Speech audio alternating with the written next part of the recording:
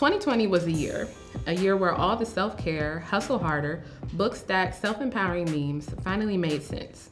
You see, it's one thing to post Black Girl Magic, but it's another to actually lift the lid to the container on your own awesomeness and be bold enough to share that with the world unapologetically.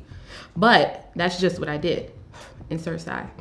I quit my job, brought all the cutouts in my vision board to life, trusted the mess out of God, and finally decided to believe that me, a tried, trusted, and proven awkward black girl, just might, maybe, be enough.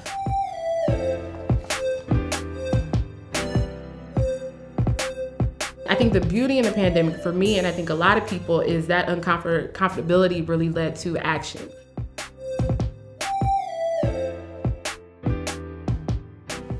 Black women earn 63 cents for every dollar earned by white non Hispanic men.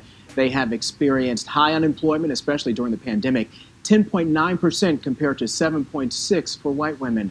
A local woman is trying to change those Department of Labor findings and help black women thrive in the workplace.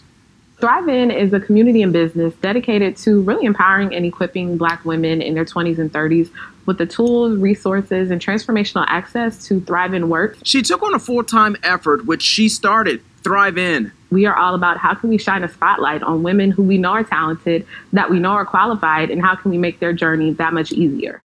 I've never been as self aware that I'm a black woman existing today than in 2020. And I say that because intersectionality is real and all the things that make us who we are. And I always say, I'm like, black women are superheroes. Like, Superman has nothing on us. I'm like, because kryptonite wouldn't kill us, and it hasn't. And we've drank it almost every day.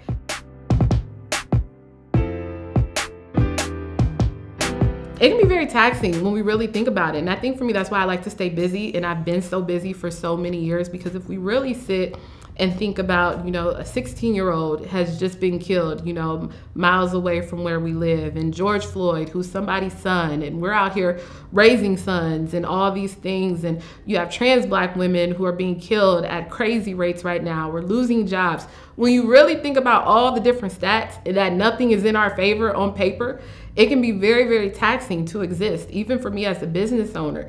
When all the businesses that are expected to close, or most businesses that don't make it past a year, when you look at the polls, who's number one for those? It's black women. And so when you think about that and you're seeing that in the news, you're seeing it in the headlines, we're seeing all these stories of black women. We're at work and I'm talking to friends like I'm on this meeting and I'm breaking down because George Floyd has happened, but I'm the only black person in this white environment. And so now I'm trying to attempt to explain to potentially a non believer what my existence is. And now I'm having to debate it as if there's something to debate about how I feel in my lived experience.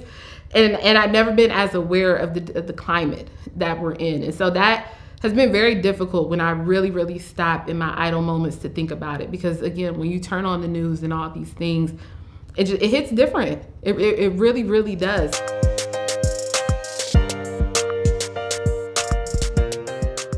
I think a lot of times it's, it's, so much easier to have sympathy for the black man.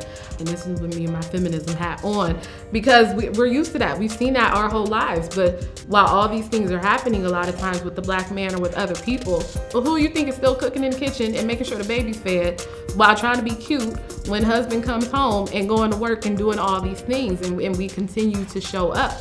And sometimes you just don't want to show up. There's a lot of guilt with that and not showing up because so many people may depend on us and we depend on ourselves. Um, and so it's just, it's interesting. It is interesting, but that, that's been difficult with 2020 when I really, really think about all those things. I'm just like, whew, I'm like, it's real out here. And I'm like, you know, for me, I live a pretty optimistic, faith-based life. But I'm like, you know, my heart really hurts for the women who may not have that same mindset yet and are really, really struggling to keep it together. Um, is a very, very sad thing because I always think it's more than a hashtag of protecting black women, but there's really not a lot of people who are.